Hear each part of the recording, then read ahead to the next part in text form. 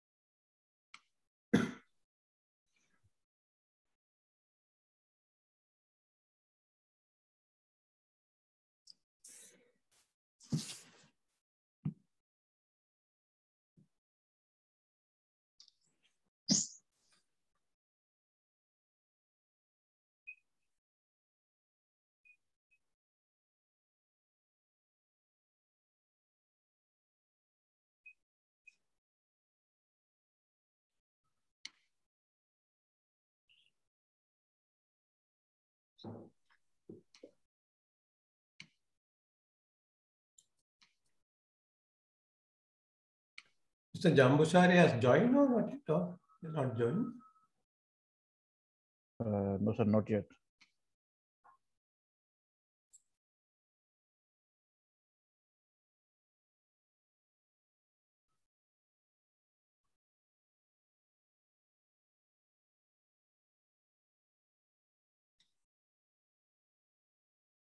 Mr. Tola will be available, no? Sorry. President will be available, no? Tola, Mr. Tola? Uh, uh, the pre- pres- Uh, unfortunately, the president is pre- preoccupied, so as um, I, I will be probably opening up, uh, followed by your delivery and the vice president's delivery. Okay. And then um, uh, I will uh, also do the honors of closing up, uh, summing our discussions. Um, Right. So uh, he's regretted because um, uh, he is um, engaged in um, uh, in um, uh, in um, the uh, uh, the budget which was recently announced. So there are a lot of challenges. So he's part of the he's chairing the anomaly committee, and that meeting um, is has been extended. So um, because of his uh, preoccupation that area, unfortunately, um, he'll not be able to join us today uh, but um, I'm here replacing him. Um, and uh, also, I'll be uh, doing um, the closing. So, um, whenever you're ready, Rahil, with the permission of the president, I think we are close to start. Uh, so, whenever you're ready, you, you, you can start the proceedings with the permission sure. of the president. sure, sure, sir, sure.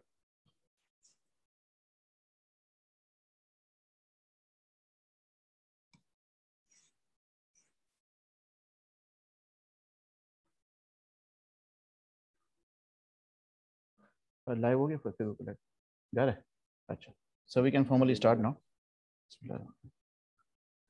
uh, a very warm welcome uh, to all the panelists and to the participants on the awareness session on anti-money laundering and countering financing of terrorism being organized by the South uh, AML committee of the South Asian Federation of Accountants. Uh, it is with uh, great pleasure I want to uh, inform all of you that it is the first time uh, that an exclusive AML CFT webinar is being organized at the committee level of SAFA. And we are very much uh, thankful to the president of SAFA for gracing the occasion along with the other uh, distinguished speakers.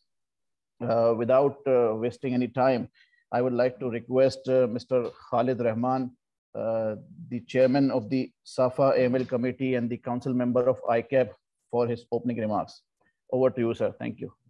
Thank you very much, Rahil. Um, good afternoon. Um, uh, I um, would like to welcome President Safa, uh, Vice President Safa, probably will be joining us shortly, and the panel mem members who have graciously given time for today's uh, session on uh, awareness on any anti-money laundering and counter financing.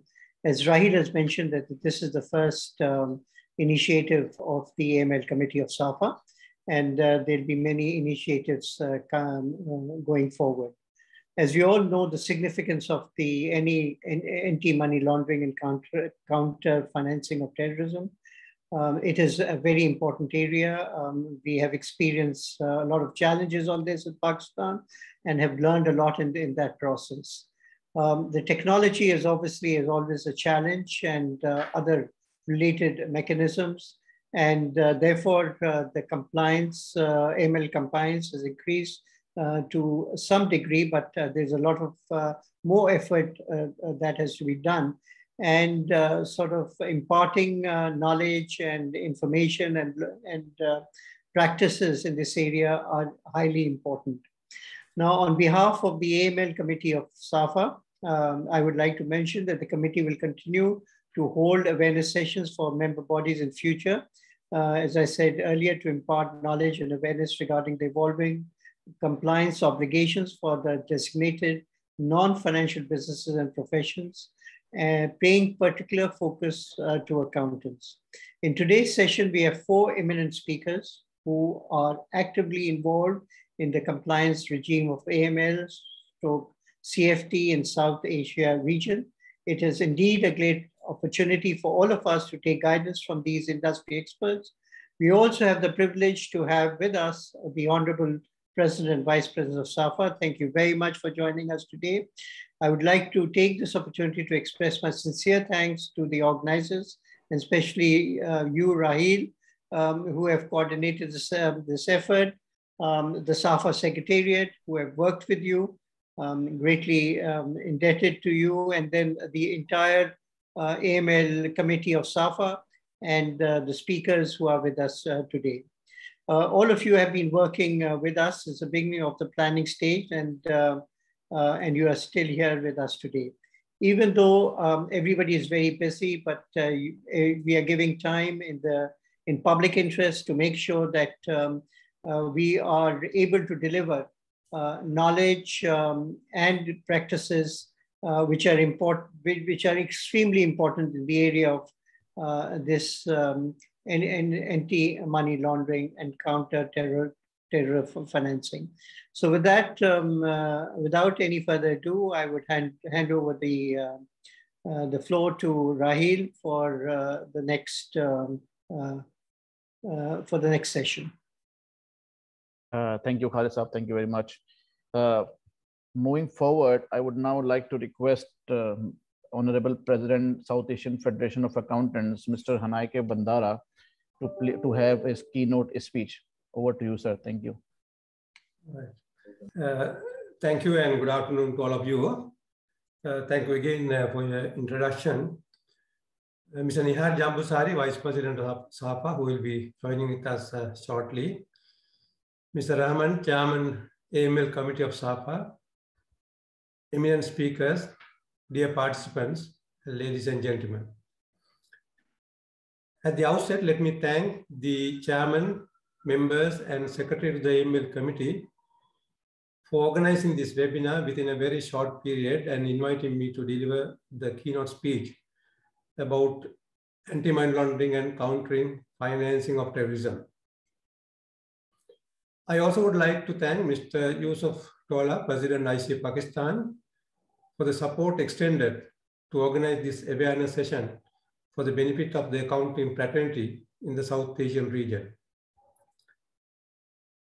It is a true pleasure for me to be here on behalf of SAFA, and I am delighted to address you all on the subject matter as I too have involved with regulators in implementing laws and regulations when I was the compliance officer as well as the general manager CEO of the largest savings bank in Sri Lanka. All of you would agree that the subject as formulated is far too wide for fair coverage within the limited time allotted. I therefore will confine my remarks to provide the overall view of the subject area. First, let us consider international effort in strengthening the AML CFT framework. In response to the growing concerns about money laundering and terrorist financing activities, the international community has acted on many fronts. The international effort began with the recognition that drug trafficking was an international issue and could only be addressed effectively on a multilateral basis. Thus, the first international convention concerning money laundering has had drug trafficking as the only predicate offense. However, with growing international concerns, most countries now include a wide range of offenses as money laundering predicates offenses. Thereafter, several international organizations have taken many initiatives to strengthen the global AML CFT framework. The United Nations, UN, was the first international organization to undertake significant action to fight against money laundering on worldwide basis. The role played by the UN is important as it has the ability to adopt international treaties or conventions that have the effect of a law in a country once that country has signed, ratified, and implemented the convention depending on the country's constitution and legal structure. Several conventions and resolutions adopted by the UN are of importance in combating money laundering and terrorist financing in the world.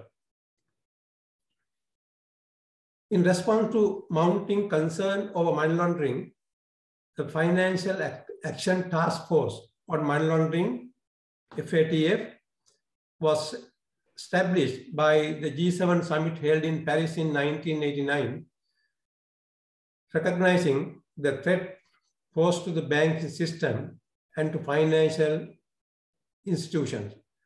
The G7 heads of states and president of the European Commission convened the task force from G7 member states, the European Commission, and eight other countries.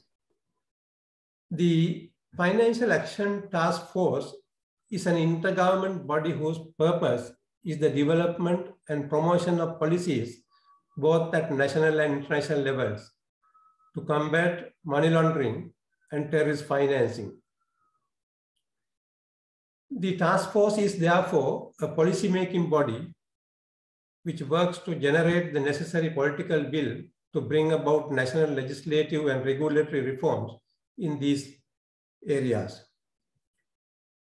In 1990, the FATF issued a report containing a set of 40 recommendations which provides a comprehensive plan of action needed to fight against money laundering in 2001, the development of standards in the fight against terrorist financing was added to the mission of the FATF. In October 2001, the FATF issued eight special recommendations to deal with the issue of terrorist financing. The continued evolution of money laundering techniques led the FATF to revise the FATF standards comprehensively in 2003. In 2004, the FATF published a ninth special recommendation further strengthening the agreed international standards for countering the financing of terrorism.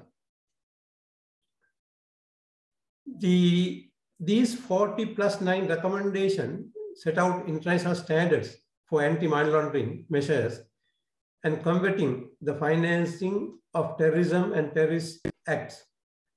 They also set out the principles for action and allow countries a measure of, of flexibility in implementing these principles according to their particular circumstances and constitutional framework. FATF recommendations are therefore intended to be implemented at the national level through, the, through legislation and, and other legally binding measures. The standards were revised from time to time considering the new developments. The COVID-19 pandemic has led to unprecedented global challenges, human suffering, and economic disruption. Criminals have been quick to seek ways to exploit this crisis despite the exceptional circumstances. The FATF has continued advancing its important work. It has highlighted COVID-19 related threats and vulnerabilities as well as policy responses to address them. In the case of virtual assets, FATF has issued global binding standards to prevent the misuse of virtual assets for money laundering and terrorist financing. The standards ensure that virtual assets are treated fairly, applying the same safeguards as the financial sector. Apart from that, the base Basel Committee on Banking Supervision has formulated three supervisory standards and guidelines concerning money laundering issue. One, the statement of principles of money laundering outline the basic policies and procedures that bank management should ensure that are in place within their institution to assist in suppressing money laundering through the banking system. To the core principles for banking, which provides a comprehensive blueprint for an effective bank supervisory system covering wide topics, including KYC and customer due diligence policies. Three, extensive paper on KYC principles. Other than such institutions, International Association of Insurance Supervisors and International Organization of Securities Commissioners have also contributed to the global effort in combating money laundering and terrorist financing. More importantly, establishment of regional monitoring bodies play a crucial role in the fight against money laundering and terrorism financing through monitoring, implementation, and enforcement of FATF, FATF recommendation. They also administer mutual evaluation of their members, which are intended to identify weaknesses so that members may take remedial action. They also provide information to their members about trends, techniques, and other developments in the field of money laundering and terrorist financing. Regional bodies are voluntary and cooperative organizations which are being organized based on geographical region. Currently, the FATF has recognized several regional bodies. Let me now talk about the position of Sri Lanka, in other words, about uh, my country. Sri Lanka is a member of the Asia Pacific Group on money laundering, and therefore, compliance with the FATF recommendation is being monitored by them. Sri Lanka has given a serious recognition to the need for preventing money laundering and combating the financing of terrorism in view of their adverse consequences, both economic and social. The country has, in fact, been a victim of terrorism financing and suffered immensely by its consequences. The Central Bank of Sri Lanka has a special concern on money laundering and terrorism financing as it has a mandate to maintain the stability of the financial system. Therefore, even before the enactment of the necessary laws, safeguards to insulate the financial system from money laundering and terrorism financing were placed through the available laws at the disposal of the central bank, such as Exchange Control Act, Customs Ordinance, and Banking Act. Adequate reporting requirements were imposed to monitor large cross-border flows of currencies. And as far back as in 2001, Know Your Customer KYC guidelines were issued to all banks urging adherence to adherence when dealing with clients and counterparties.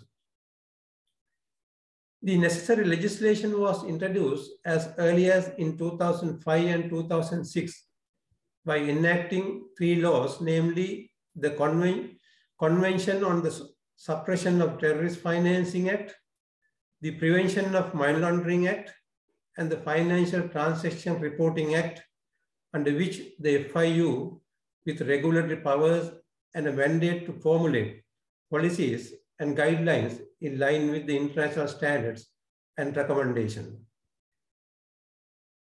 In October 2016, the FATF announced that Sri Lanka would be subject to a review of International Cooperation Review Group of the FATF to assess the progress of AML CFT effectiveness in the country. After several discussions and progress reports, they indicated that Sri Lanka has not made sufficient progress in certain areas. In fact, they identified the four main areas. As a result, in October 2017, Sri Lanka was included in the grey list of FATF. The year 2019 was a very successful year in, in strengthening the MLS CFT regime of the country. One of the main tasks of the Financial Intelligence Unit of Sri Lanka was to complete the FATF action plan to delist Sri Lanka from the grey list with the support of all the stakeholders. Central Bank of Sri Lanka's uh, coordinated efforts were finally endorsed by delisting Sri Lanka from the FATF grey list. Going forward, in uh, 2021, FIU slammed penalties on leading commercial banks and licensed finance companies for non-compliance. So these are status of uh, the Sri Lanka. Ladies and gentlemen, in conclusion, I wish to state that professionals are the backbone of a country's forward march.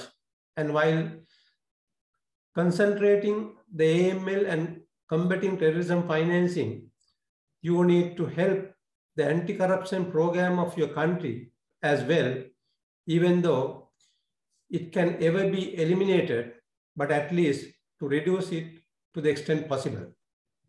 Therefore, the challenge today is not the inadequacy of standards. The challenge is the commitment and implementation of recommendation. In short, effective and efficient action by all stakeholders to stop money laundering to reduce the harm caused by crime and terrorism. I wish the seminar all success. Thank you all. Over to you, Mr. Ram. Uh, thank you, Mr. President. Thank you uh, with the conclusion of the keynote speech, I would like I would now like to invite our first speaker uh, to share some insight and knowledge about the customer due diligence and the record keeping requirement. Uh, I would like to request Mr. Shivarama Prasad, Dr. Shivarama Prasad, to please share some light on the this customer due diligence requirement. Uh, Dr. Shivarama Prasad is a qualified professional in cost accountancy, company secretary, finance, commerce, insurance, and banking with an experience of 36 years in the banking and financial industry with cross-cultural experience and good knowledge in the insurance sector. Mr. Prasad has been awarded PhD for the thesis role of automated teller machine in modern banking. He has been associated with the State Bank of India. Over to you, sir. Thank you. Thank you. Thank you very much, sir.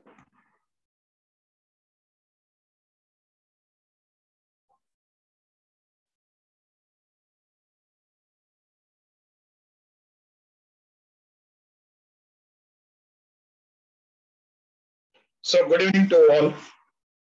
First of all, thanks to Safa for inviting me for this uh, awareness section on AML and uh, countering the financing of terrorism. And uh, I'm Dr. P. Sivarama Prasad. I'm from India and I worked in uh, the India's largest bank, that is uh, State Bank of India. My topic is on due diligence and record keeping. The due, today's uh, that particular agenda is the due diligence as well as a record keeping. In India also, whatever the public sector or private sector or foreign banks or regional rural banks or cooperative banks, whatever the financial system is there, not only the banking system, but also the capital market or money market, all systems are fully implemented the KYC and AML guidelines issued by the regulators. And the regulators also from time to time, they are uh, giving the best world standards and these standards are also implemented in the country. Now, today's topic is, my topic is on due diligence and record keeping.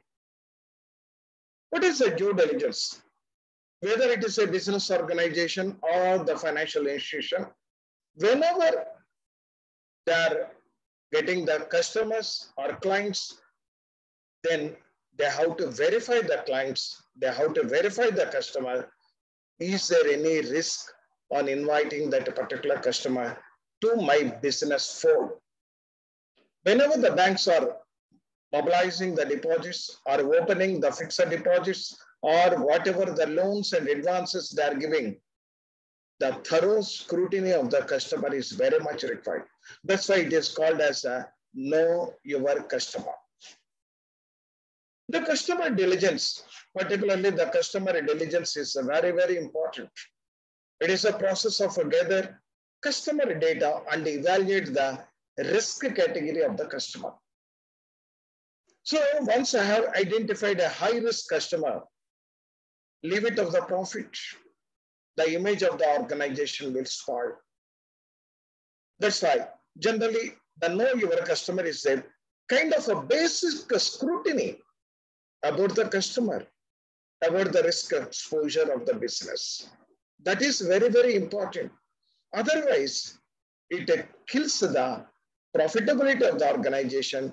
It uh, increases the or image risks of the organization will spoil like that. So lack of a due diligence process in any organization, whether it is a financial organization or any other business organization, including professional, once the due diligence is missing, they are inviting the high risk to the organization. Not only that one, image risk. Once the due diligence is not happening and the organization is uh, the bad image, the goodwill of the organization will tarnish and the media will cover in this organization, they're doing some wrong things. They're inviting the customers, wrong customers like that.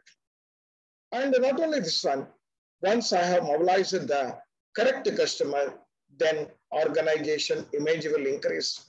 Not only this one, the bottom line of the organization is very important. Once I have chosen the wrong customer who is doing wrong things, then it uh, decreases the, my bottom line, that is the profit. I may incur the losses also due to import, due to paying the penalties uh, to the regulator, etc. And the stoppage of the operations of the business organizations.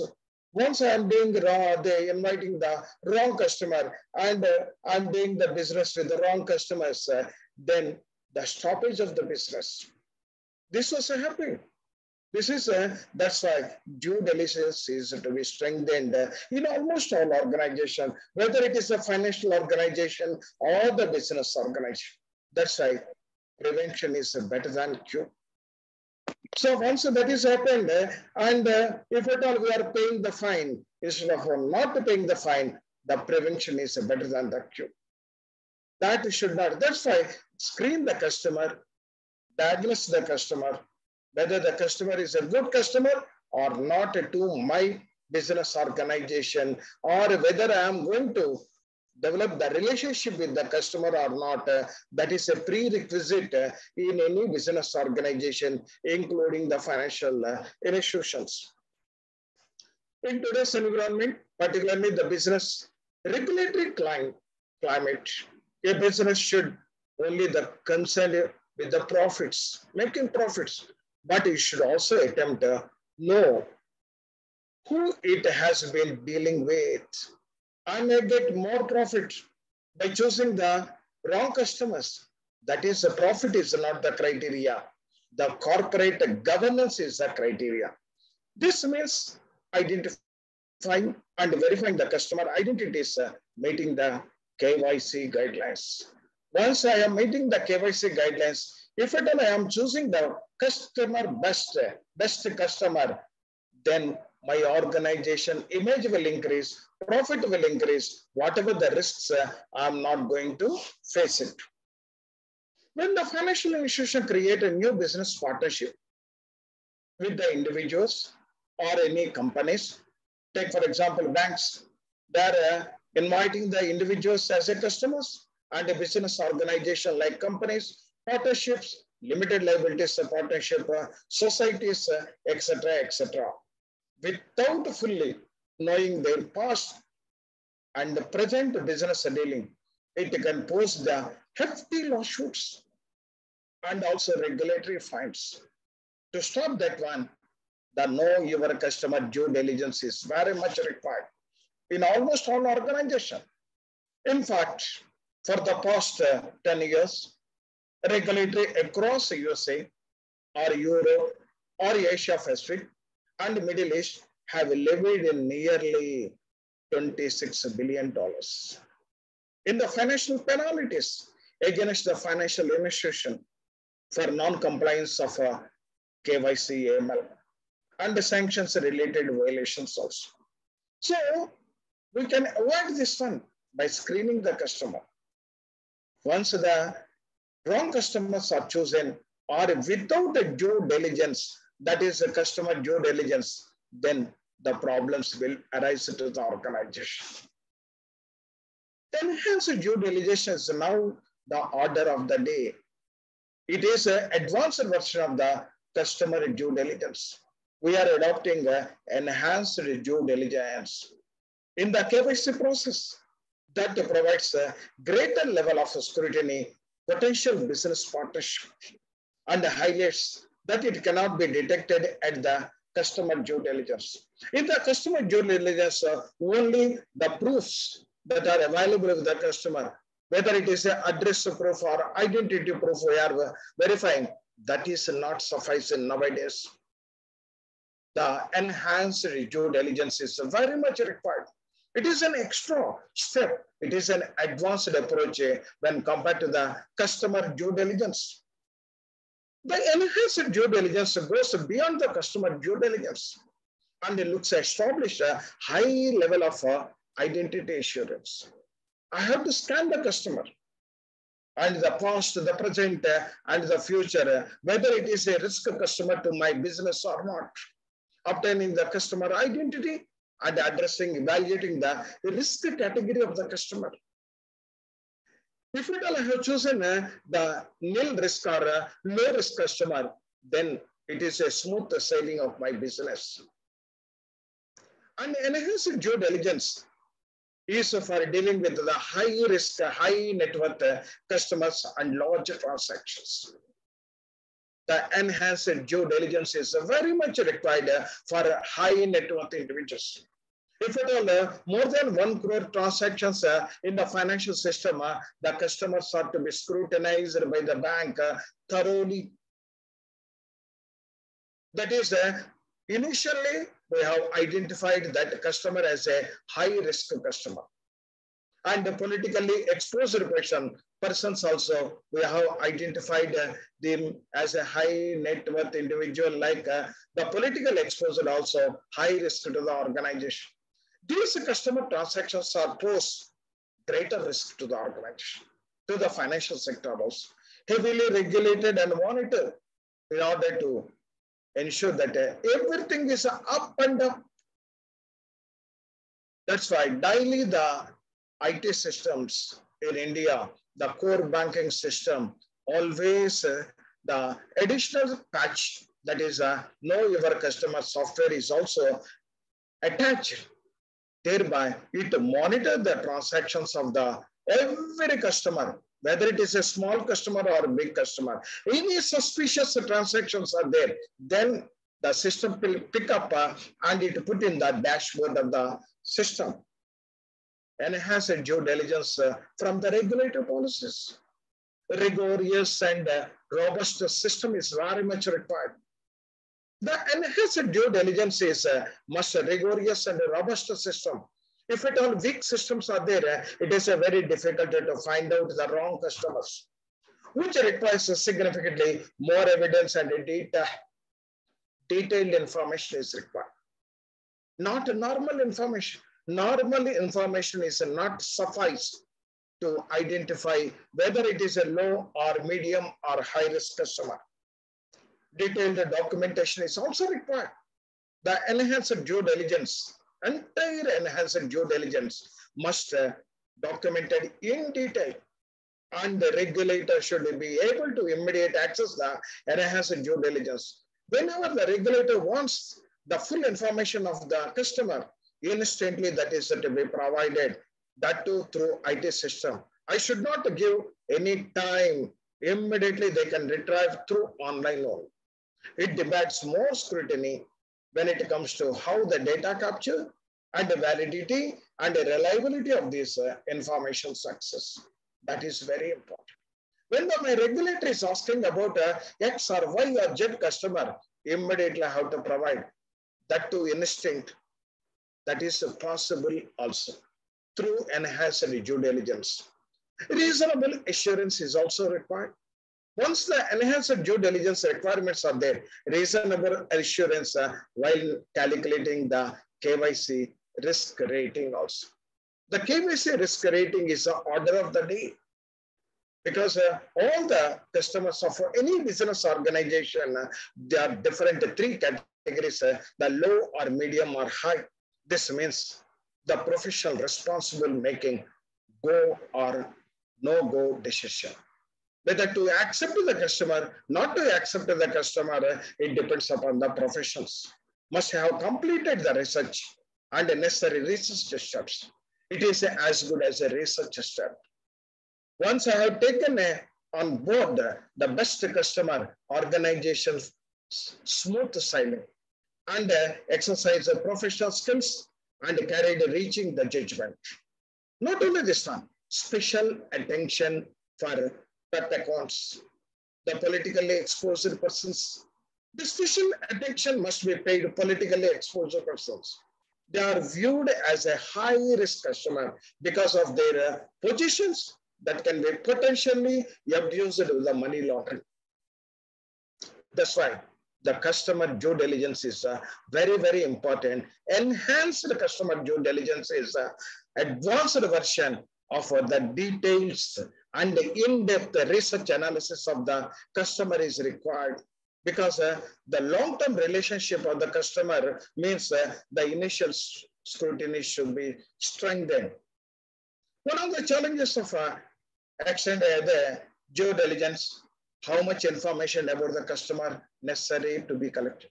The enhanced due diligence regulators have consistently, consistently favored approach of the financial institution the leverage, the document and policies and procedure. From time to time, the regulators in the business, the regulators in the financial system, the regulators in the capital market, uh, all are uh, from time to time, they are developing the policies. They are uh, rationalize the policies in the present uh, conditions. What type of scrutiny is required to be done by the financial system or capital market system or the business system automated AML screening that provide the sufficient assurance uh, enabling the regulators uh, to electronically audited decisions uh, made by the profession. Nowadays, instant uh, the information should be available. based on the data warehousing, data mining, uh, it is possible to screen the customer uh, whether the customer is a good customer or bad customer.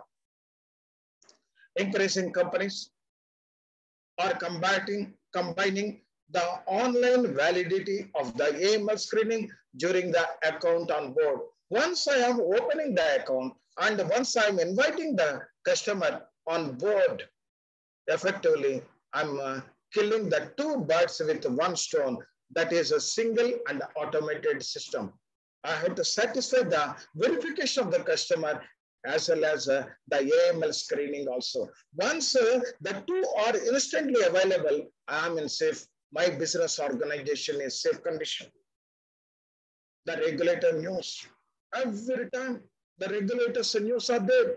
The regulators impose a penalty on financial system and the corporates non-compliance of KYC to avoid, to arrest, to mitigate that type of uh, this one. Uh, the penalties, uh, the screening is uh, very much real. It is as good as a body screening. That is a CT scan. So a body, whatever the disease is there, it is to be screened with the CT scan. That type of a system is to be the robust system and advanced systems are to be developed to safeguard the business organization, to safeguard the financial system of the country. The customers are to be categorized in three segments, the low risk customer, the medium risk customer, the high risk customer. But the second and the third customers are closely, regularly to be monitored by the business organization. The business organizations as well as uh, the financial institutions or the capital market, uh, whoever is there, that is uh, the continuous effort, not a one-time measure. It is a continuous process as long as the customer is with the business. IT systems of the organization should be really right the advanced versions are the business intelligence. The BA, the data warehousing, data mining, lot of advanced versions of the IT systems are also available.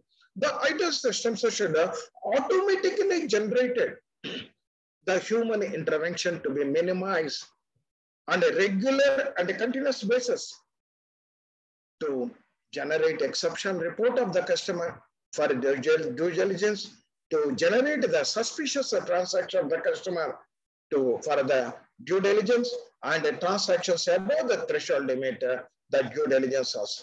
These are to be verified by the designated officials like uh, chief risk officer and the actions are to be initiated.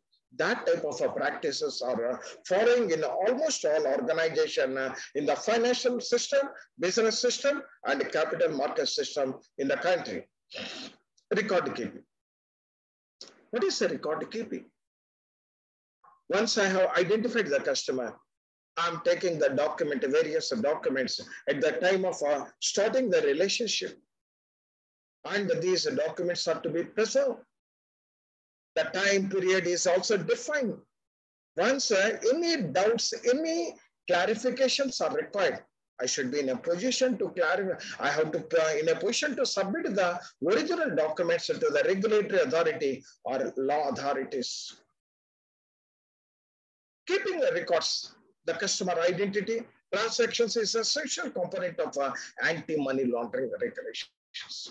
Companies uh, that are obliged to comply the re regulations uh, and uh, that, uh, that uh, the, the, the, this type of essential component of money laundering uh, regulations. Companies that are obliged to comply with the regulations are uh, money laundering, prevention of records and controls. All are to be preserved as long as the relationship of the customer is continued with the organization.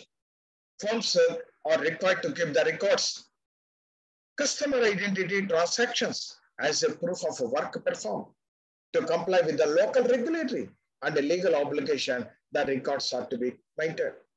In suspicious cases, the records are to be maintained and forward to the law enforcement and the law enforcement can conduct the investigation based on the records submitted by the organizations.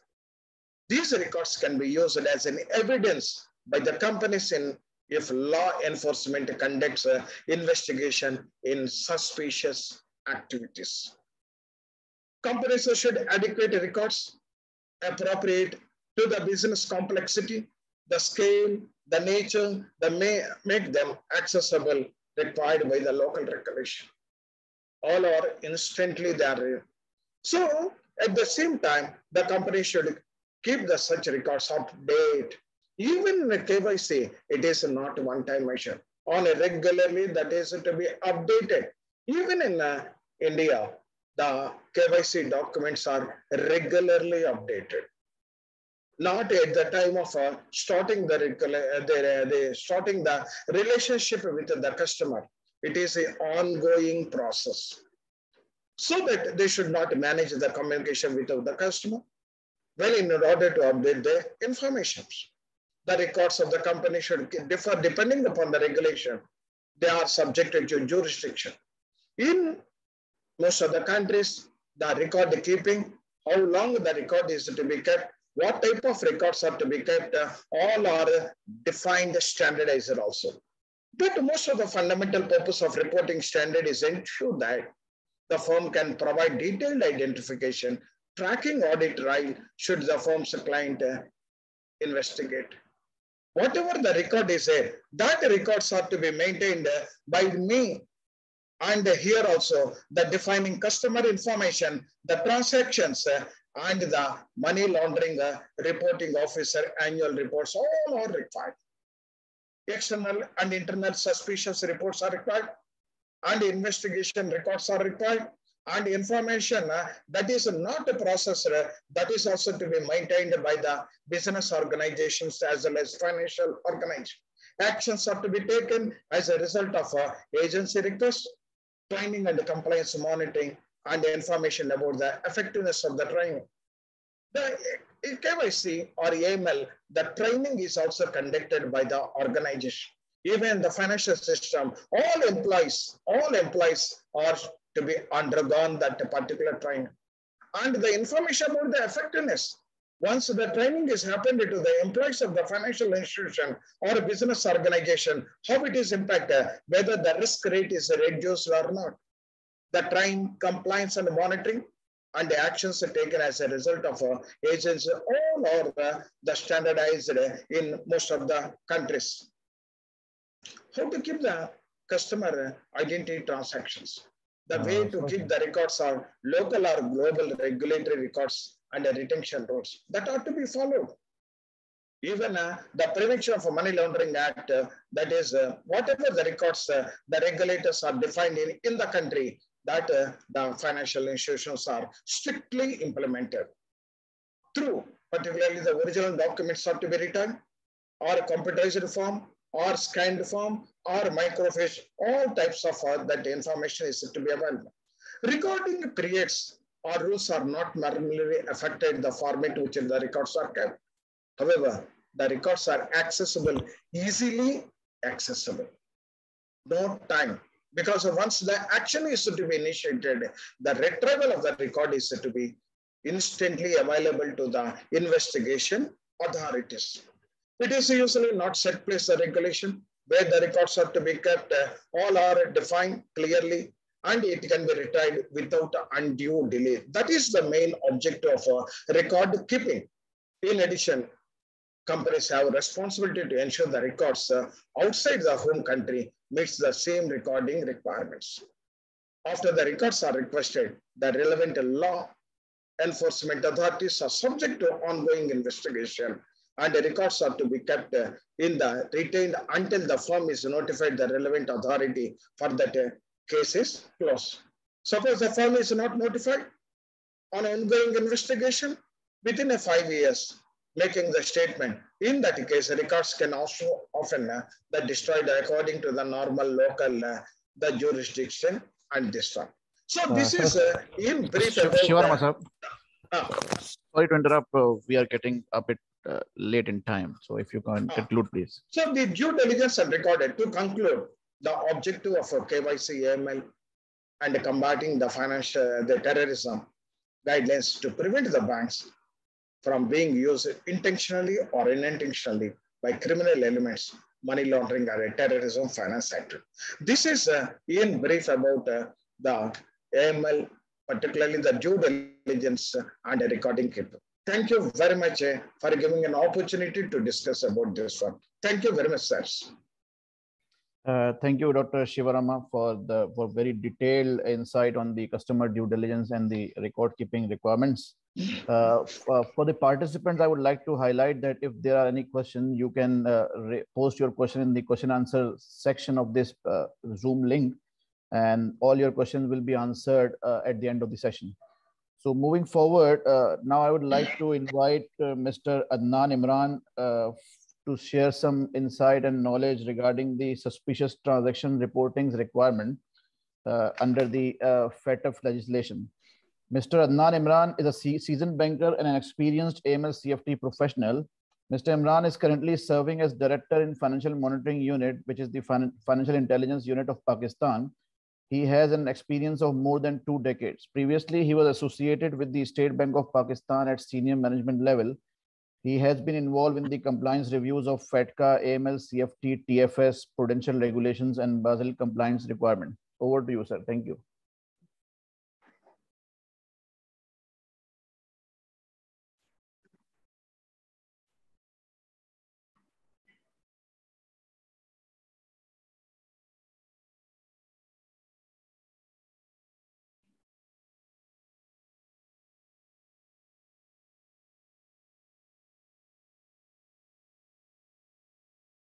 Uh, can you see the screen, please? If you can slide show, it will be more better.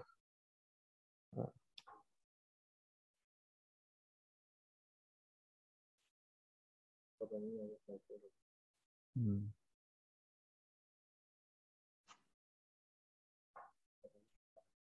At the bottom right corner, you will find the button for the slideshow. Thank you.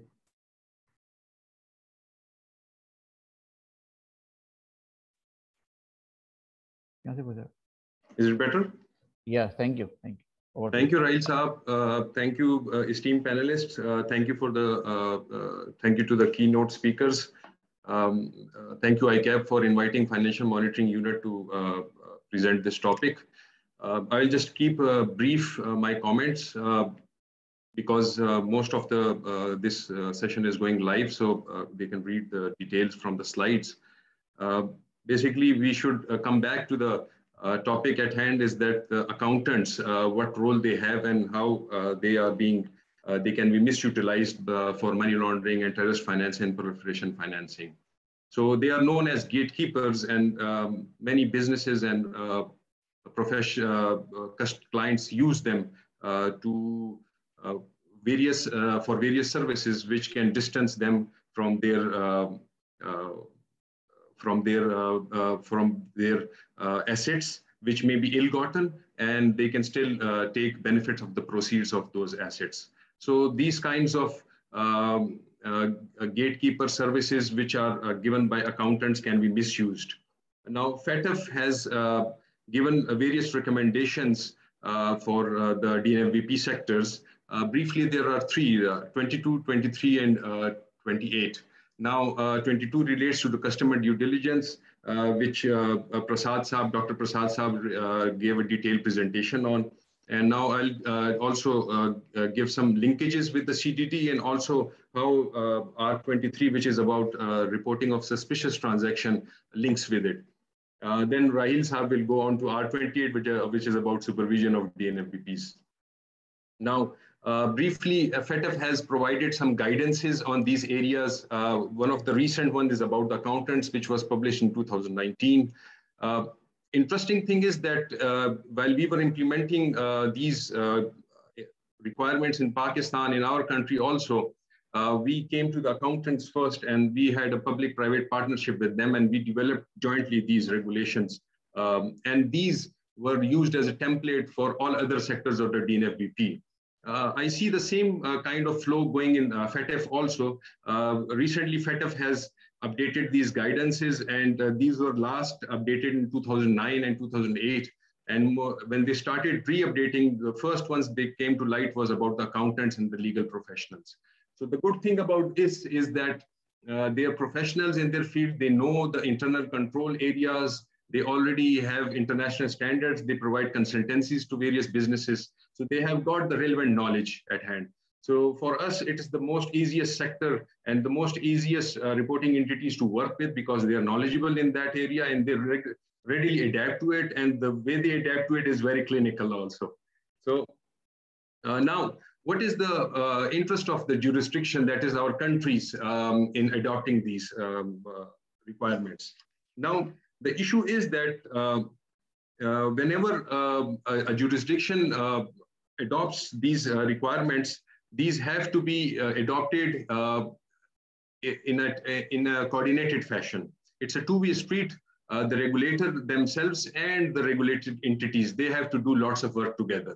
So it's more of a partnership with the private uh, sector. The public sector and the private sector have to do all these uh, accomplishments uh, in partnership with each other. And, and to uh, give a, a, playing, playing level playing field uh, to all the reporting entities, they have to ensure that those who voluntarily comply are rewarded and they are helped and they are assisted in their efforts. And those who do not um, are fined and um, are dissuasively uh, clamped down on. Now, uh, eh, many uh, technical side work has to be done. Uh, lots of assignments have to be done. But the issue is that um, if you look at it um, without the private partnership, it cannot be accomplished. So the government can make laws, regulations, SOPs, systems, uh, but uh, till the time that the private entity comes forward, internalizes those guidances, those templates, those uh, reporting systems, and adopts them, uh, it cannot move forward. And when they adopt them, then the supervisor can come and do the on-site and off-site supervision. Because without those supervisory, uh, you can only do supervisory uh, actions if your uh, private sector is actually doing AML CFT compliance. So it's very important that both the private and public sector have a partnership in place. Uh, just because this is the SAFA um, uh, forum. So let's see if, where uh, our countries are. Nepal, as uh, Harisa will tell you, it is going, it is going to host a MER session soon. So we will see their progress uh, in a few months' time. India will also be hosting their MER uh, maybe next year. Uh, for the rest of the SAFA countries, we can see that most of the countries are largely or fully compliant in R22, that is the customer due diligence requirements. And the R23, which is the reporting of STR and CTR requirements. Uh, the, the progress that is required is the R28, that is the supervision part.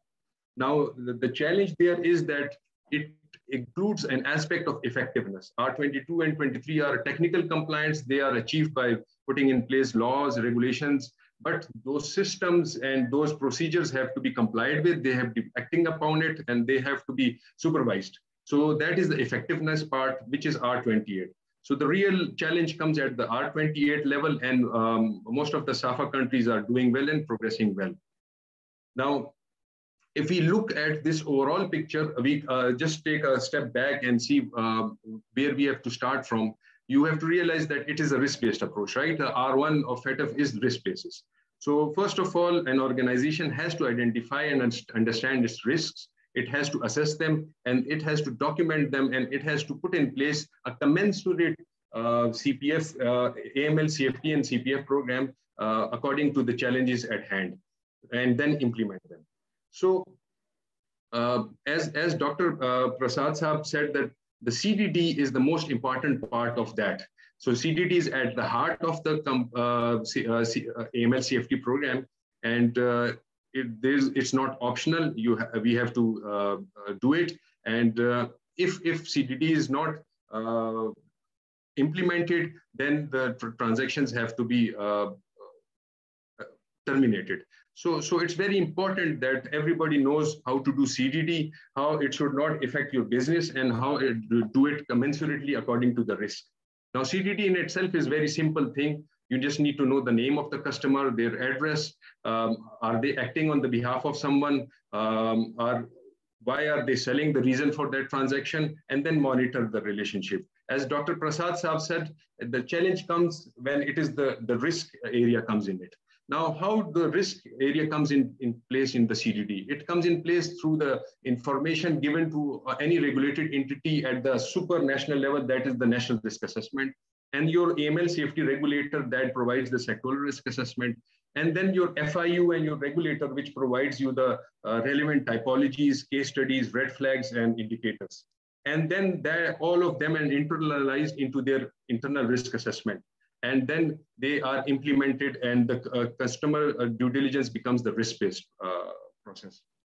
Now, uh, the challenge, as Dr. Prasad Saab said, comes when it's the high-risk customer.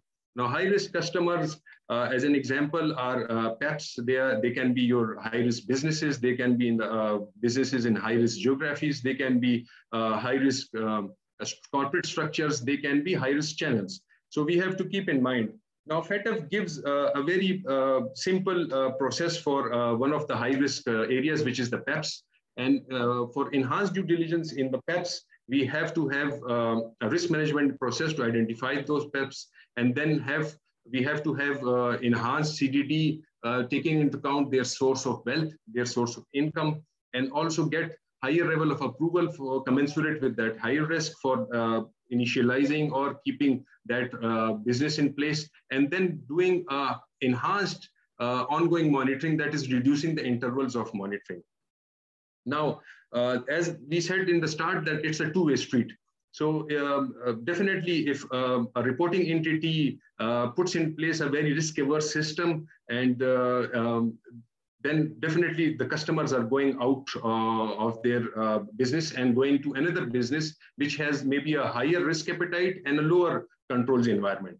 Now here the uh, work of the supervisor becomes very important because the supervisor has to ensure the leveling playing field between these uh, reporting entities. It has to ensure that everybody is doing CDD on equal quality and they are doing it according to the risk and the risk as they increase, the level of controls are increasing accordingly.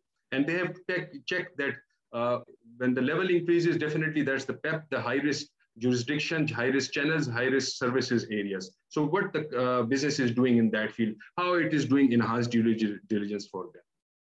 Now, uh, when we talk about high risk, um, we have to keep in mind that the DNFBP uh, uh, sector or accountants, uh, they have been uh, put, uh, the recommendations for them from FATF are based on high risk.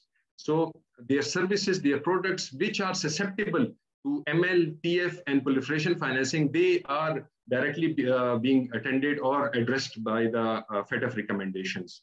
They can be formation. the crux of the matter is that um, making, forming, managing of the legal entity, legal arrangements, selling and buying, and then uh, selling and buying of uh, uh, property, and then managing assets, uh, performing financial transactions for your clients, and giving tax advice. So these are uh, vulnerable areas which have to be looked into. Uh, now, if this, these are vulnerable services that are being provided by the accountants, then definitely anything that is added onto it as high risk increases that risk. Now, for example, if the client behavior is uh, showing high risk, um, a client uh, has negative news uh, in the uh, media, uh, definitely, and he wants that services. So it adds on that uh, risk factor in it. Similarly, if the transaction pattern or the channel being used by the customer also adds on to the same transaction. That is, the same client also wants to do the transaction cash. Um, so that adds on to that.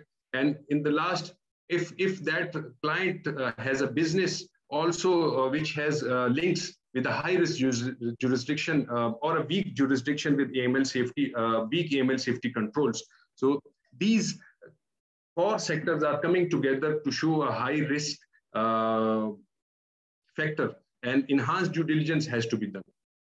Now, uh, keep in mind that when we say that enhanced due diligence has to be done, that uh, does not mean reporting of STR. It simply means that you have to ask more questions, in, as we discussed in the case of PEPs, go in depth, commensurate with the risk, and ask more questions, get more documentation, do a stronger verification process. Now, if that process is successfully completed, then definitely the transaction will go ahead. If during that process a suspicion is uh, suspicion arises that the client is doing ML, TF, or PF, then definitely that is where the STR is uh, reported.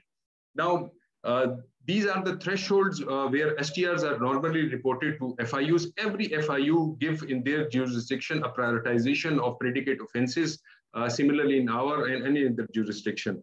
So it depends from FIU to FIU jurisdiction and their risk profile. So uh, if there's a, a, intention of doing illegal thing or a, uh, a, client is doing illegal thing which accountant detects or it is involved in terrorism financing or terrorism itself, or it has it is a positive match is uh, with UNC, uh, UNSCR screening list that is the 1267 1373 but in those cases uh, where the CDD cannot be uh, fully uh, completed and you are not able to find out then you should uh, abort the transaction and then you should also report a STR and wherever uh, the client is avoiding reporting thresholds and you see suspicious behavior of the clients, and then also that uh, is a place where uh, an STR should be reported to the FIU. Now, this is an area where the FIU works with the reporting entities and guides them and uh, helps them prioritize them. Uh, the IT systems of the FIU has options in which you can tag your um, uh, uh, suspicious transaction report as under one of these predicate offenses or any other predicate offenses that you see there. For example, human trafficking, smuggling, or any other uh, issue that you see, corruption, uh, and that can be tagged with it. And the FIUs prior use their, those tags to prioritize the STR sent uh, to them. Now, the important thing here, here is that tipping off should be avoided uh, wherever you are uh, reporting STR, you should avoid tipping off your customer. Confidentiality of the STR should be ensured. It should not be told anyone um, uh, that the STR has been reported. And the institution, uh, the, the jurisdiction should have a safe harbor in the law. And the safe harbor is a balance, check and balance so that it, it incentivizes the reporting entity to report suspicious transaction report. So whoever reports a suspicious transaction report, they get safe harbor in the law uh, from uh, future investigations. So it's kind of an incentive. Prompt reporting can be emphasized. It needs to be emphasized. It needs to be promptly reported. Now, just to keep a quality of uh, uh, STR reporting uh, within accounting practice, one should ensure that there's a full-time or at least experienced compliance officer at hand and he is um, uh, dedicated to doing compliance functions. And those STRs should be internally reported to them. And then that resource which is fully dedicated to compliance and STR reporting should do ensure do quality assurance and also ensure that a standard minimum standard which a FIU requires in STR should be met. And if it is a, a minimum standard of the suspicion is not met, uh, that STR should not be reported. So, so it has it, there needs to be a suspicion, uh, on reasonable grounds to report, or a knowledge of predicate offense to report an STR. Now, reporting an STR, the best practice is keep it short, keep it logical, keep it simple, uh, do paragraphing uh, so that the reader can easily understand. Keep in mind that this is just the starting point. The STR reporting is just the starting point. After you report the STR, it needs to be processed by the FIUs. Based on that, they will develop a financial intelligence, which may be uh, disseminated to a law enforcement agency, which will do a carry out an investigation on it. So, so it's just the start of the process. So the start of the process, you need to give the relevant information in your suspicious transaction reporting to the FIUs. Now, even if that uh, suspicious transaction report is not utilized for financial intelligence to law enforcement agencies, a, a, a, a, good quality FIU will have a good quality IT system, uh, and this STR will contribute to its uh, database, and future uh, financial intelligence will be, uh, uh, the value addition will be done in maybe in the future financial intelligence that may be disseminated about the same STR or maybe any other STR. Now, even more important, as we said that the the services provided by the DNFBPs or accountants are vulnerable. And when you take it into perspective of a cross jurisdiction, that those services are given from one jurisdiction to another, it becomes even a more higher uh, risk category. Now, um, here, when the STR being uh, is sent to FIU, that STR can be used by the FIU for information sharing with other FIUs. And now we are looking at not only at national level uh, anti-money laundering framework, but an international level anti-money uh, framework, anti-money laundering framework, where more than one FIUs will come together and investigate the case and develop financial intelligence out of it. So, uh, Mr. Rahman, can you uh, please uh, conclude in the next few minutes? So I would be very grateful. Thank you very much. So uh, at the end of the day, it's in the interest of the professionals because the business of the professionals is uh, dependent on their uh, reputation and they should, uh, uh, and the jurisdiction of uh, the reputation of the jurisdiction is dependent on those professionals working in that jurisdiction. So it's very important that all the stakeholders, the customers, uh, the uh, accountants and the relevant AML CFT regulator should work together uh, in a partnership and ensure the integrity of the system in place. Thank you very much for your time. Uh, thank you, Mr. Adnan. Thank you for your very detailed and insightful presentation. Uh, without wasting any time, I would now like to request Mr. Hari Kumar Nepal, Dr. Hari Kumar Nepal, to share some insight regarding the internal controls under the FATF monitoring uh, compliance. Uh, Mr. Hari Kumar, Dr. Hari Kumar is the Deputy Director of Nepal Rastra Bank, the Central Bank of Nepal, and is currently working in, for the AML cell of the Ministry of Finance and the AML CFT Mutual Evaluation Secretariat of the Office of the Prime Minister and Council of the Ministers. Mr. Nepal has a wider experience in AML CFT regime for more than a decade. He had the experience of working as an AML CFT assessor and reviewer in the evaluation of number of countries. Mr. Nepal is MA, LLM, and PhD in the AML CFT in legal matters in SAARC countries, as well as, as a certified anti-money laundering professional. Over to you, sir.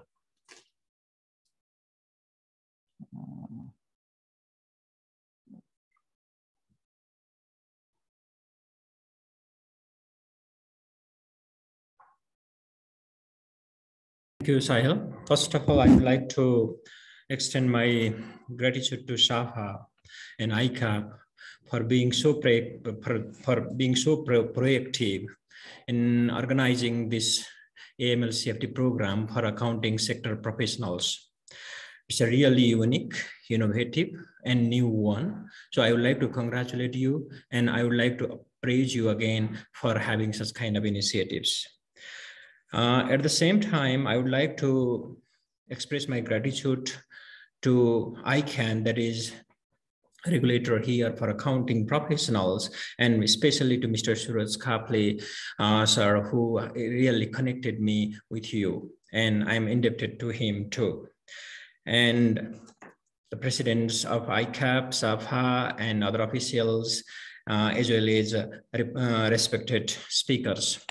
My title here is that without wasting time on other formal things, I would like to directly go to the issues uh, on internal controls and AML CFT, particularly in relation to accounting professionals and, uh, and their services, whatever they provide.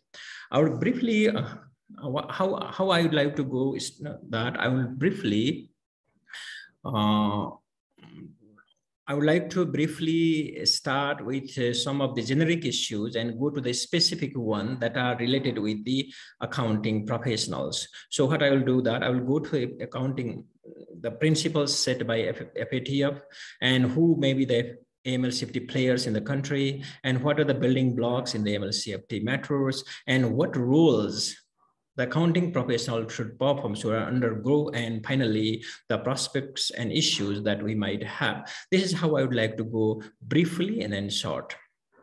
As we all of us know that and the chair also say delivered in his speech that fatf has its recommendation issued in 2012 and it, it is still still um, the FATF is still revisiting it and updating it. And some of the recommendation out of 40 recommendations are some of the recommendation are directly related with the accounting professionals such as recommendation 22 23 and 28 22 and 23 are about how accounting professionals should perform their AML CFT roles and 28 is about the how government authorities or uh, regulatory or supervisory authorities should conduct supervision of accounting professionals.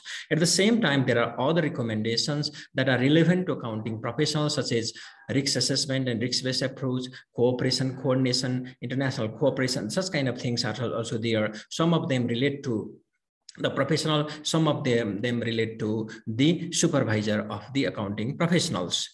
And at the same time, eh, if, if when a country is assessed, the country is assessed in two part. One is technical part that we just saw before, and another is effectiveness part. In the effectiveness part, we have direct relation with the preventive measures and as well as supervisory measures. Now I would like to go, uh, I'd just like to show this slide to see how AML CFT system works in a country. There should be a legal basis first.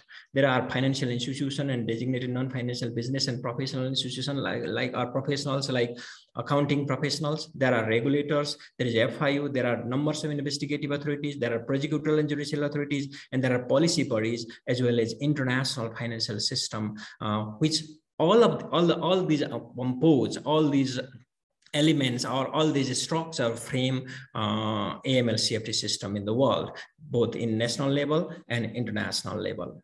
However, what I would like to stress that it is the reporting entities, it is the accounting professional, it is the banking professionals, it is the insurance professionals, it is the real estate professionals or business person, they really feel breathe into the system. We were are there the components are agencies, but the base, the, the foundation of the system is, if you ask me, are the reporting entities, the accounting professional are one of them. Now I'd like to go discuss a bit about what are the AML CFT building blocks. The earlier presentation also touched upon these things. I would just briefly would like to go on this.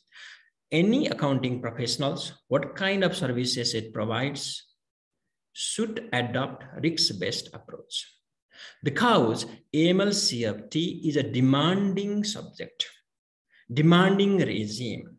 If you try to have every possible thing, if we try to apply every possible thing to all, I think we cannot run our profession. Sure, that this has been understood globally. This has been understood nationally. So this has been reflected in regulatory directives. This has been reflected in national laws. So uh, an accounting firm or a banking institution is required to conduct its institutional risks and focus on those areas where there are high risks or large, um, medium risks or medium high risks. And the, the, the, the building blocks also require that there should be a policy, there should be a procedure of a, uh, an accounting firm that address the risk-based approach. Means suppose in my country, a particular business sector is quite vulnerable to money laundering, that policy and procedures should capture that. And that risk-based approach should have touched upon that, discussed that, analyzed that, and stated that this, this sector is vulnerable for money laundering and financing because of these, these things, because of these statistics, because of this logic. So risk-based approach means, first of all, we have to conduct our institutional risk assessment based upon national risk assessment, sectoral risk assessment, uh, or other risk assessment. And the findings of this risk assessment should be reflected in the policy and procedure of an institutions, in the CDD, CDD measures, in the monitoring measures, in the reporting measures, in the compliance program, in the record keeping, in the capacity building in the review and appraisal of whatever a firm is doing.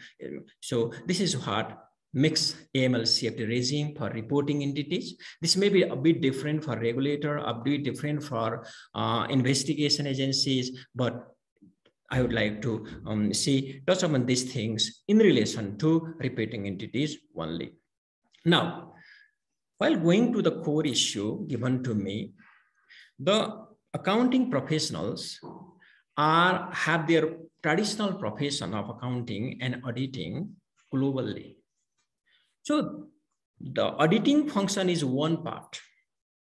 And the, the role assigned by FATF standard is a bit different. It does not mean that an accounting professional should work as a reporting entity while conducting audit function. while carrying out audit function. So what FATF has said or is limited that if any accountants or any auditors or any accounting professional is engaged in the preparation of, in the transaction of, of uh, say when they prepare for or carry out a transaction of the client concerning the following activities means if an accountant is involved in buying and selling of real estate on behalf of his customer or client, then at that time, the accountant is supposed to be reporting entity in AML CFT perspective. If it is doing audit function, that is different thing. That is a different role. That is a different capacity. There are the, the norms and guidelines for audit function uh, have been traditionally developed and growing, you see, expanding more and more as per the challenge. So if an accountant is engaged in managing of, of, client money or securities and other assets, if it is engaged in, he is engaged in the management of bank or saving or securities of accounts, if it is engaged in the organization of contribution for the creation, operation or management of legal person or companies, if it is engaged in creating or operating or management of legal person or arrangement or buying or selling of the business, if an accountant by virtue of its li the license it has obtained from the regulator or government, carries out such kind of activities, at that time, as per the FATF recommendation, should work as a reporting entity. For auditing, there is a different role, which we will be discussing later. So FATF is covering only this part a reporting entity or reporting professionals or DNFBP. So that is what I would like to focus on here. We should not be worried for so many things. As a reporting entity or as a professional engaged in, as, as an accounting professional, you see, engaged in such kind of activities. Now, I would like to separate these two functions. One, we accountants, we lawyers are working as reporting entity or reporting professionals as per recommendation 22 and 23 of FATF recommendation. In that context, we have to comply with the building blocks of AML CFT that I presented before and other respected speakers also presented on that.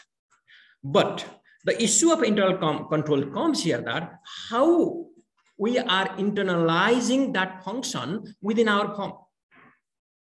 What kind of policy we have framed? What kind of procedure we have framed? What kind of staffs we have hired? What are the measures of hiring ethical staffs? What kind of ethical grounds we have maintained over there?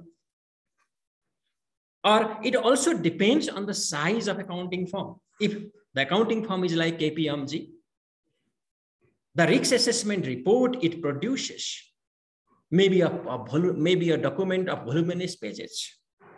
If there is a single, uh, an accounting firm having one single accountant and limited to domestic business, domestic services, the risk assessment may be different.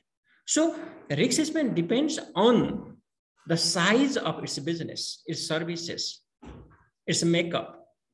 And at the same time, who are the persons, who are the bodies, who are the mm, companies or whatever we say, we are providing the service. These means our customers. Is our customer a business business person? Is our customer a politically exposed person? Is, is our person mm, mm, customers are those who have been suspected for tax evasion or terrorism?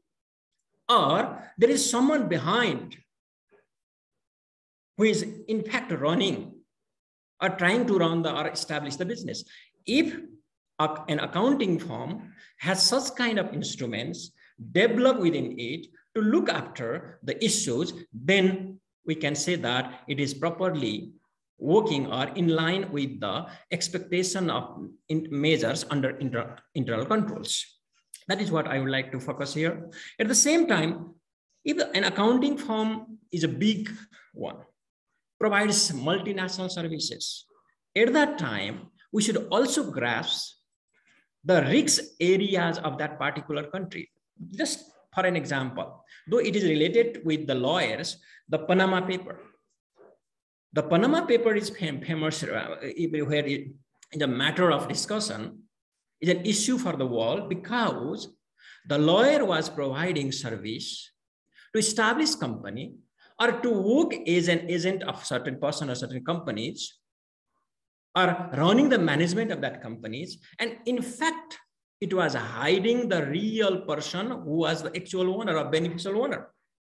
So what kind of instruments we have developed within our firm based on our scope of business, size of business, nature of business, or area where we are serving.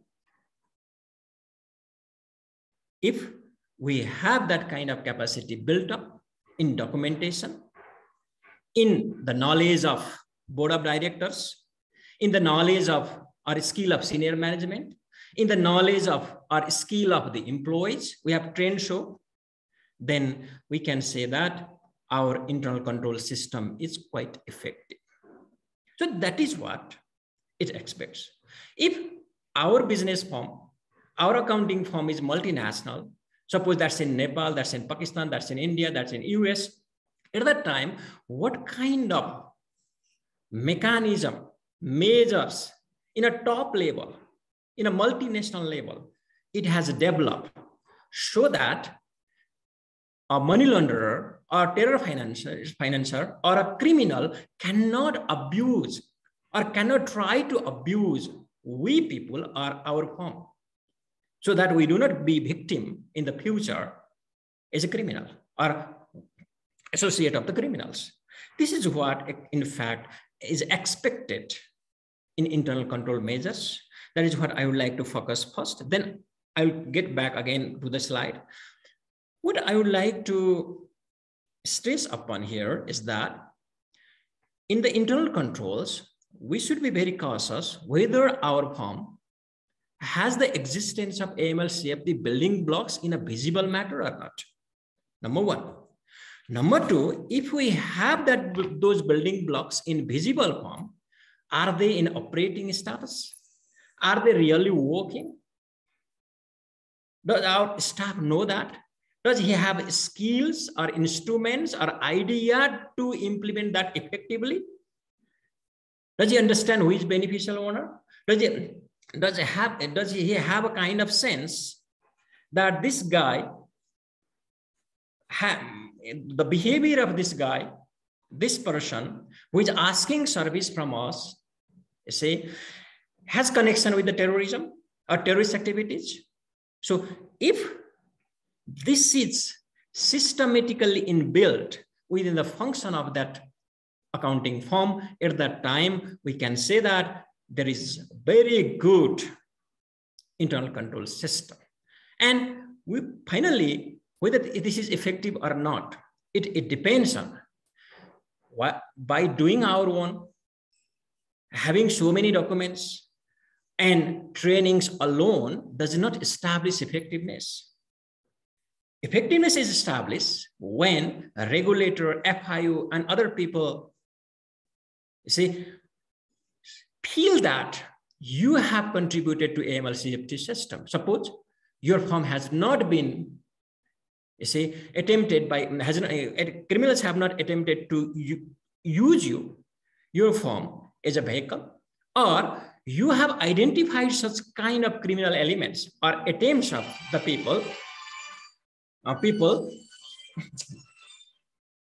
attempts of, of, of those kind of people are notorious people and you have reported that to FIU a suspicious activity or suspicious transaction what what kind of name is there in, in a country? So regulator is satisfied by looking after entire system in place.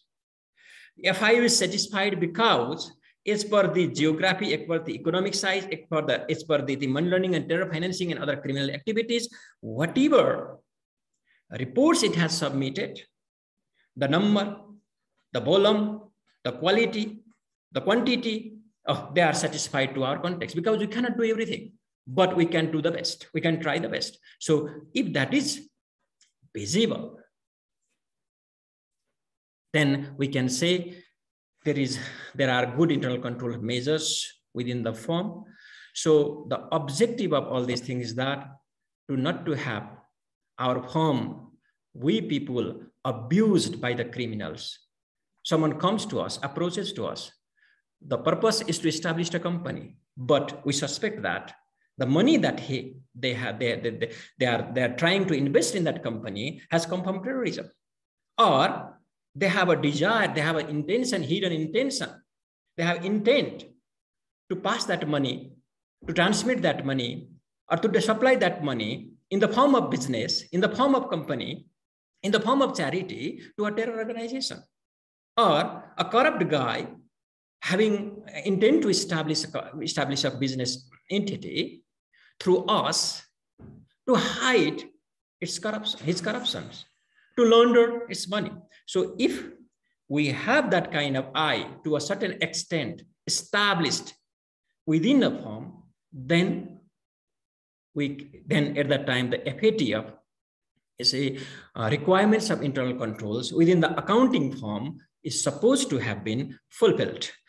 So this is what I would like to stress upon one, one side. Another side is when accounting professional work is auditors, uh, then they uh, have sorry, additional. Sorry. sorry to interrupt. If you can conclude in uh, next. Right. Sure. Sure. Um. Yeah. If they are working as auditor at that time, if they are auditor of reporting entity, how far reporting entity, suppose bank, are complying the AML safety measures effectively. That's their another role that I would like to focus. Finally, Nepal, in the context of Nepal, we have ML laws, regulatory directives, ML policies, and national risk assessment. And there are some challenges we have felt, though we have found our ICAN, that's the regulator for accounting professionals, very active. They have issued directives to accounting professionals engaged in such kind of activities that we discuss, we have found some major problem is that some of them are that there is no clarity in understanding, and there is a problem for us in the integration adjustment of accounting professions and mixing AML norms within that. And another problem that we have found is that case versus suspicious activity. So what is case? What is suspicious activity? So this has been a big problem for us but we are in regular discussion and I ICAN has been doing a lot of things in this in that regard. So finally, I would like to thank you uh, for giving me this opportunity. Thank you, sir. Thank you, ICAN. And thank you, ICAP, for giving this opportunity. Thank you very much. Uh, thank you, Dr. for your insightful presentation. Uh,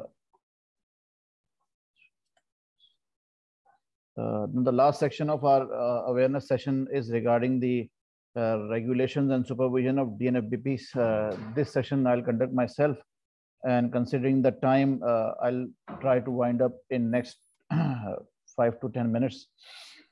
Mm.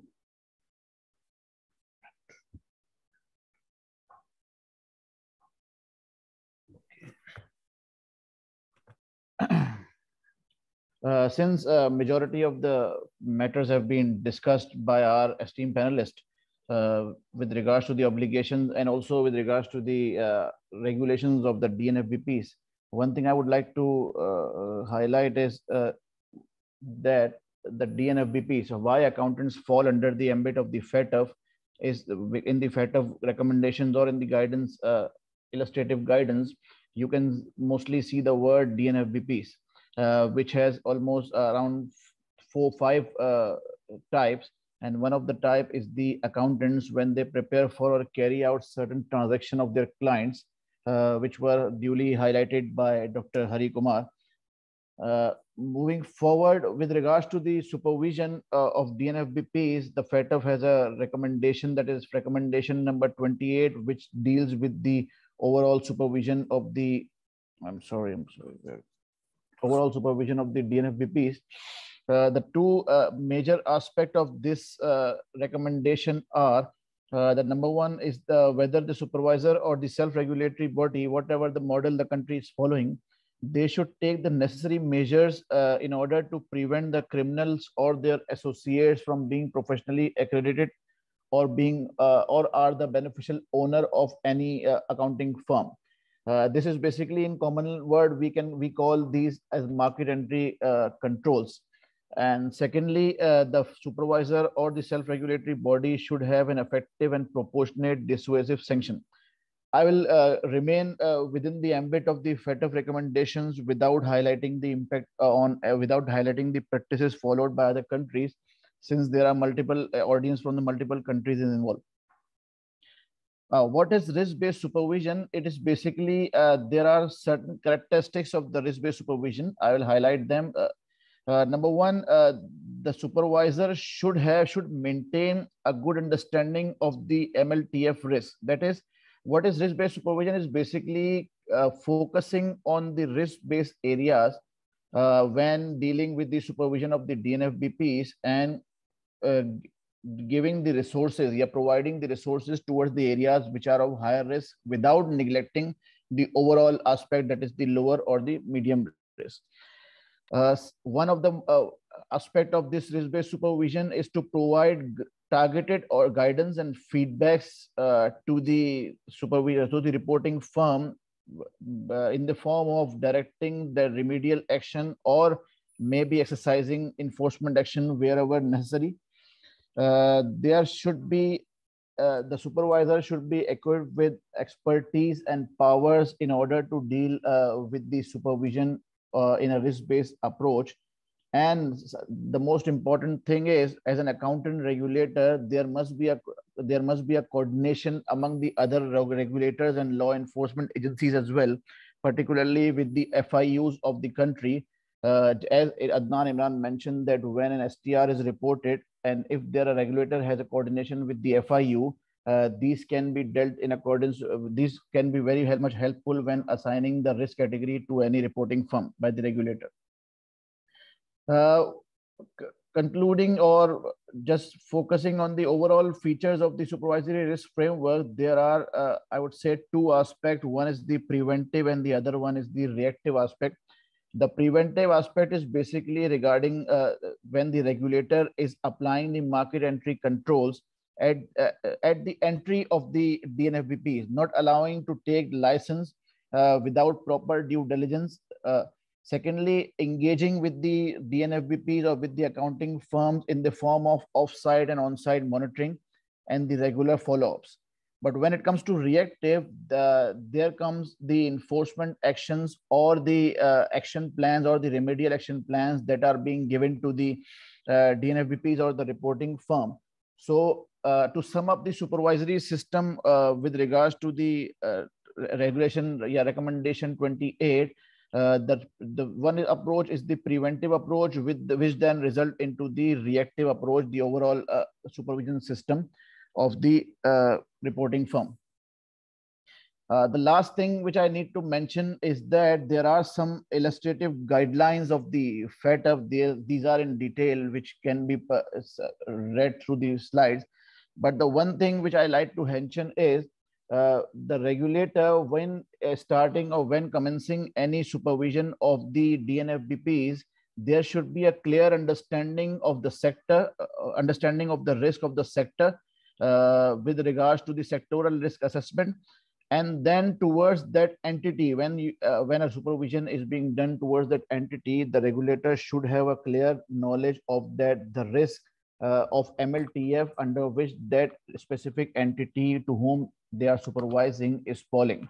Just in order to make sure that specific resources and if a, specific uh, focus is being given uh, to that reporting firm uh, sec uh, secondly, the supervisor or the SR, SRB should assess the adequacy of the internal control, just like uh, Mr. Hari, Dr. Hari Kumar also mentioned that we need to assess the uh, uh, adequacy of the internal controls of DNFBPs in order to properly uh, to take into account the overall money laundering and terrorist financing risk while making overall risk profiling of the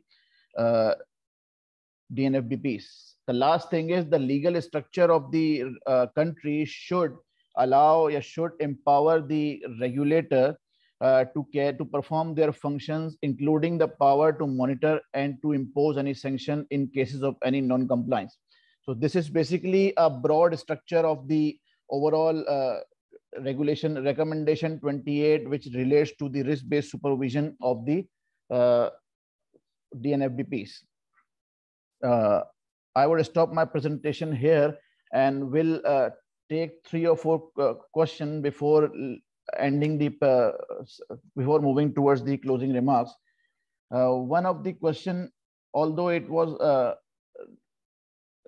responded, but to, for the uh, since AML is a worldwide problem, some countries are prone to risk and some are less.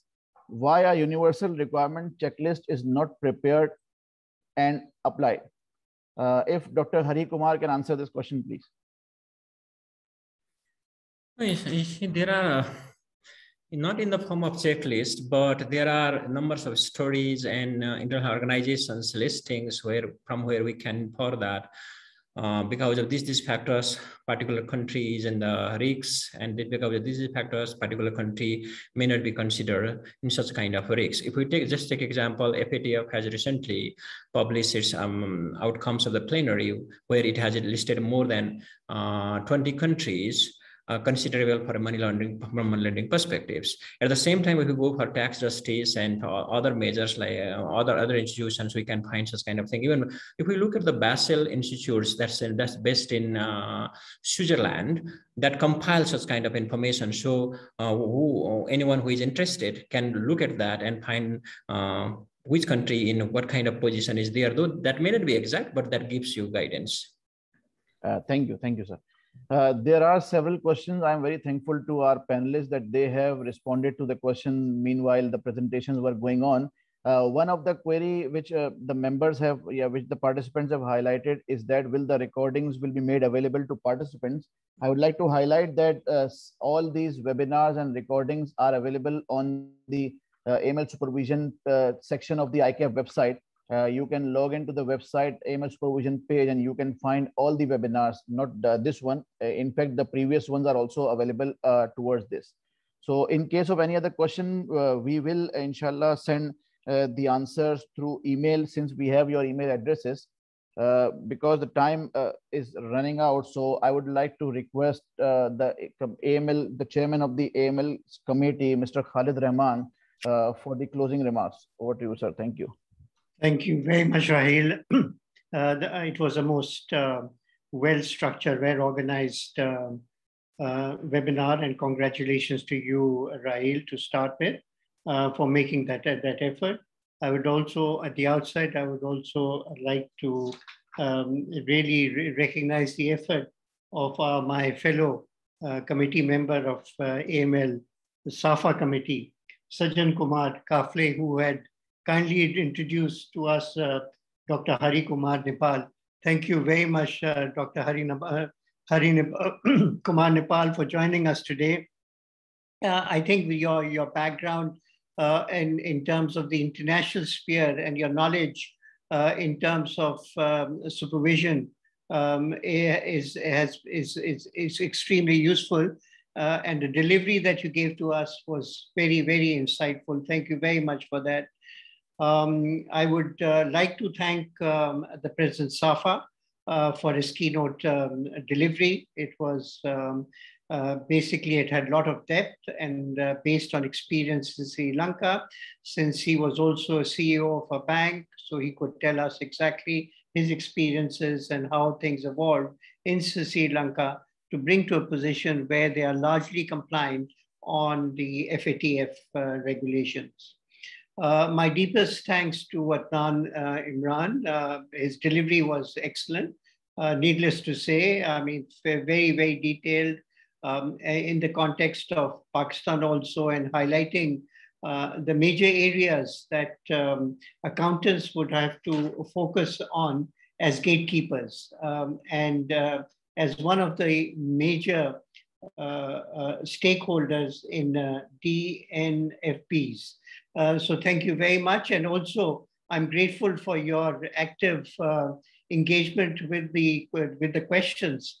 And you responded to 10 questions while we were all sort of uh, hearing. And thank you very much. It was, um, it was excellent. Well done. Um, and last but not least, um, our, my deepest thanks to um, Dr. Uh, Sh Sh uh, Dr. Uh, Shivarama Prasad, um, uh, who gave us a talk on due diligence record keeping, um, his experience in um, uh, the Indian Central Bank um, uh, has been uh, was very um, useful in terms of giving us a, a good um, understanding of uh, uh, what needs to be done in terms of know your customer and due diligence. Um, and um, uh, I uh, am thankful uh, to all the participants who were with us today.